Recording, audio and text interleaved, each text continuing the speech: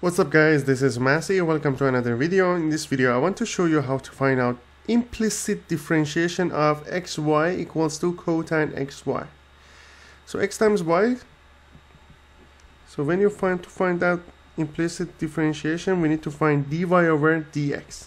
So it's going to be the derivative of xy over dx equals to the derivative of cotangent of xy with respect to x.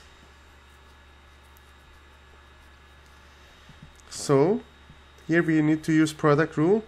The derivative of x is going to be 1 times y plus x times derivative of y with respect to x and equals to derivative of cotan xy which will be negative cosecant squared xy times the derivative of x times y which again we need to use product rule. It's going to be y plus x times dy over dx. So it's going to be y plus x dy over dx equals to negative y cosecant squared xy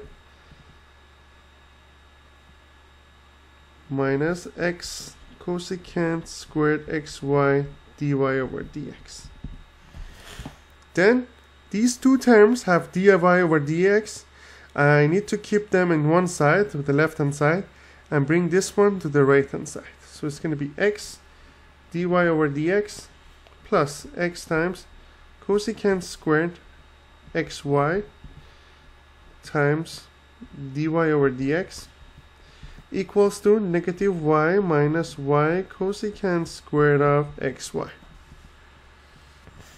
Then I factor dy over dx.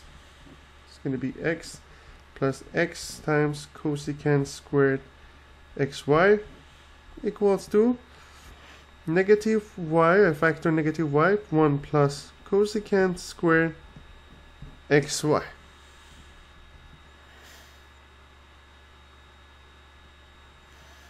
Then I can say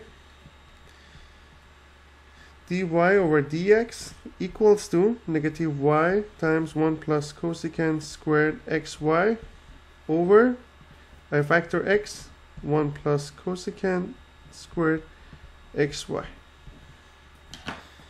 then these two cancels out.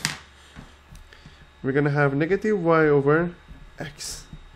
That's the final answer. I hope you enjoyed this video. Please leave me a comment if you have any question and I'll get back to you as soon as possible I will leave some related videos and playlists in description in case you need extra help. Please don't forget to subscribe this channel. You have access to many other videos regarding calculus, math, and science. Thank you for watching and have a great day.